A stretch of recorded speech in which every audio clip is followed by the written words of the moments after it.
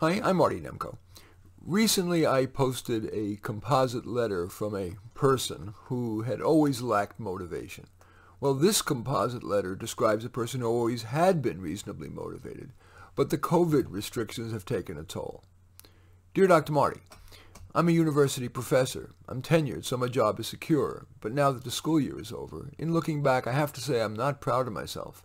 Being able to teach from home, somehow I felt less motivated to prepare for my classes and to give assignments other than multiple choice tests, which I know aren't good, but I couldn't make myself face reading class sets of essays.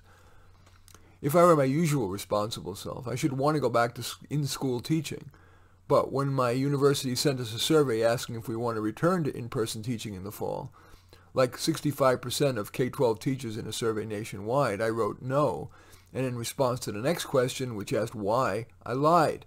The truth is I enjoy working less. But I said, well, I don't want to, to avoid spreading COVID. Our chancellor now says the university will probably open in the fall using a hybrid format, part in-person, part remote. But if there is the predicted second wave next later in the year, it'll be 100% remote. I fear I won't work hard enough in the fall with, when I'm teaching remotely. But deep down, I really don't want to be a slug. Any advice? Here's my response. You said you've been reasonably responsible previously, and university professors have to be hard workers to get a doctorate and to become a professor. So rather than being a slug, is it possible that at least part of the problem is that you haven't been well enough trained in the art of teaching remotely? Perhaps your university will provide training this summer, but even if not, might you want to explore some resources on remote teaching? There's a number on the internet. For example, Dartmouth has. So I think if you just Google, if you're interested, if you Google uh, uh, Dartmouth uh, and uh, on remote teaching, you'll find it.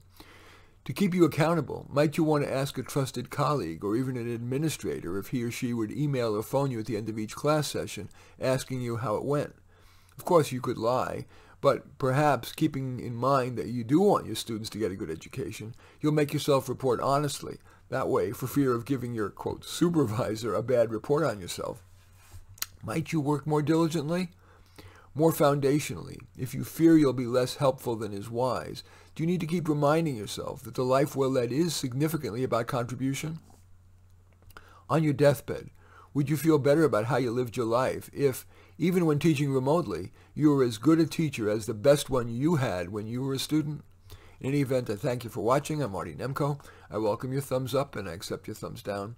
I always look forward to your comments, and I especially like it if you hit the share button below and share on your social media so that my efforts can have broader impact. And I am flattered if you choose to subscribe to my channel. In any event, I do thank you for watching. I am Marty Nemko.